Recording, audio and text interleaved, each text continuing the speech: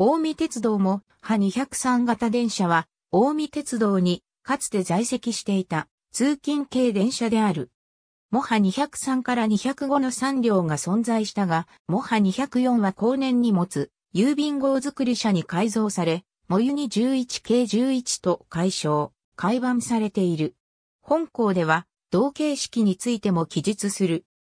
モハ203は、元小田急電鉄で8600系1610の車体を、モハ204は、元京王帝都電鉄で派1700系1707の車体をそれぞれ旧型国電の廃車発生品と組み合わせて登場したもの、モハ205は三義鉄道より譲り受けた。モハ140系141を本形式に編入したものである。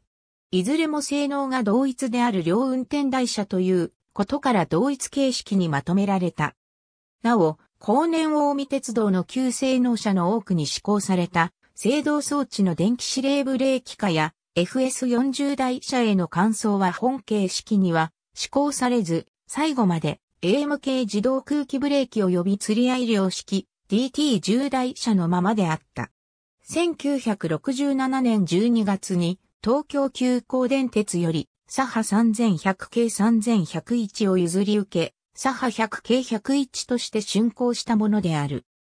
その後車体の老朽化が進んだことから、1970年に小田急で8600系1610の車体との乗せ替えが西武所沢車両工場にて実施され、同時に伝送化が施行されても、派203型203と解消、改版された。こうした経緯はモハ200型と同様であるが、モハ201.202が片運転台車であったのに、対し、当社は両運転台車であったことから、別形式に区分されたものである。後年ワンマン化改造を受け、多賀線などの区間運用に重宝されていた当社であったが、経年による老朽化が目立ち始めたことから、当社の大枠に親会社の西武鉄道から譲り受けた701系、区派線742の車体部品を切り継ぐ大改造が施行され、モハ220系222として再生し面目を一新した。このため、車席こそ引き継がれているものの、外観上あたり車の面影は全く残っていない。名義上は自社工場製の区派線212系線212を1973年に電動車化した車両であるが、実際は京王で派線700系線707の車体を譲り受け、西部所沢工場にて、中古の床下機器と組み合わせたものであり、主車から引き継がれたものは、車席のみである。同時に両運転台化改造が施行されたことから、性能、構造の近い203型へ統合された。その後、モユ20系への老朽化に伴い、両運転台車であった当社が後継車両に選ばれ、1980年に車内を荷物、郵便号作り仕様に改造の上もユニ11系11と解消、改版された。しかし、1984年1月末をもって鉄道郵便輸送が廃止されたことから当社も用途を失う形となって運用から外れ、長期間休車となった後1990年12月に廃車となった。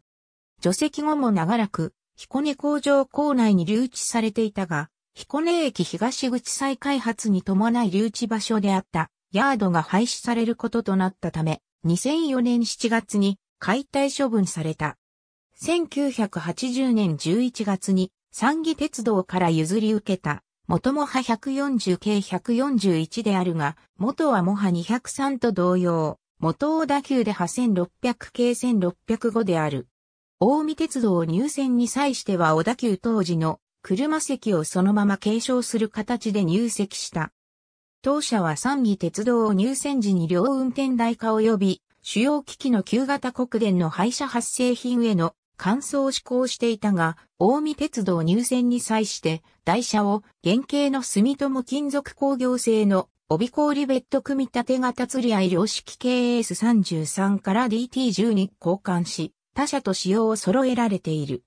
なお、パンタグラフについては、他社が清井川、大見八幡寄りに搭載されていたのに対し、当社のみは前原よりに搭載されていた点が特徴であった。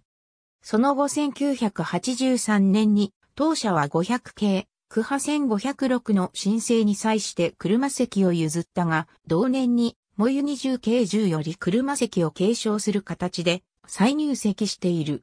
そのため、モハ200号という車番に変化はなかったものの、車席には変化が生じている。モハ203と共にワンマン化改造を受け、主に区間運用で使用された当社であったが、同様に車体の老朽化が進行したことから、大枠と主要機器を流用しても、ハ220系221として再生された。こちらも車席が引き継がれているものの、種車となった当社の面影は全く残っていない。三義鉄道も、派140系電車に関するカテゴリー。ありがとうございます。